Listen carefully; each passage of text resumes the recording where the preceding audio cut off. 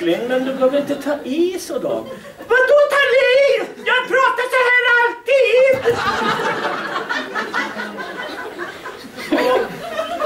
Men nu är det så här att din klänning har gått sönder. Du har ingen gammal trasa i garderoben. VA? Ska jag ta något gammalt? Jag vägrar! Jag... Varför snurrar rummet så här?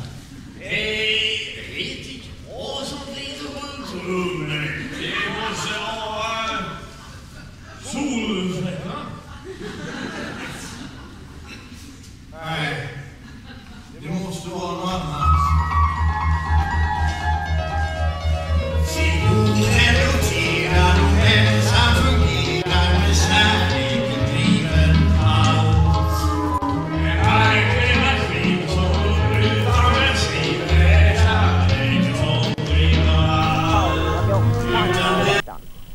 Gott med lammkött?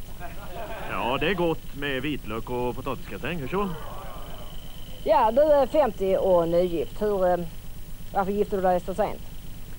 Ja, Elvira är faktiskt min tredje hustru.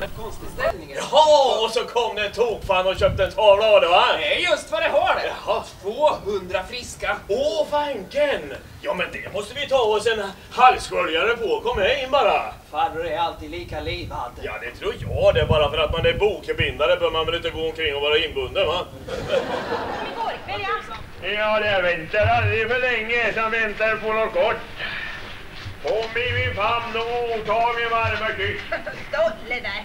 Ja, pass på nu. Jag har nyss lagt in, ja. Men slå på nu, vi får klämma om du har inte en vedpinne i köket. Ja, men först har vi pussel.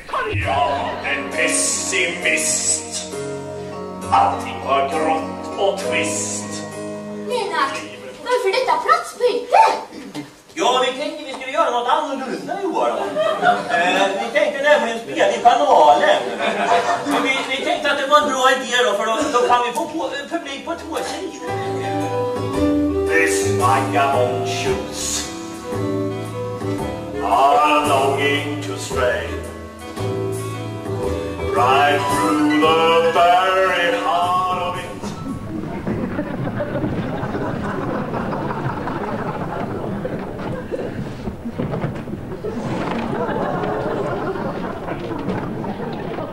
Jag tror eh, damerna håller på att presentera sig för varandra.